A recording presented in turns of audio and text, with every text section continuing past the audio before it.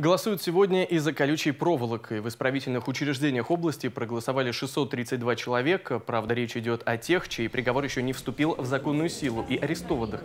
В двух местах для голосования в Ярославском СИЗО номер один и во втором Рыбинском изоляторе побывали наблюдатели. Они отметили, выборы прошли в рабочем режиме, нарушений не зафиксировано.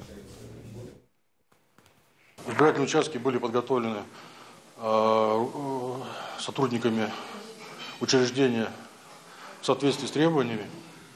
Велась видеозапись, была наглядная агитация, четыре кабины. В настоящее время голосование закончилось, проголосовали все. Э, голосование прошло в рабочей обстановке, нарушений не выявлено.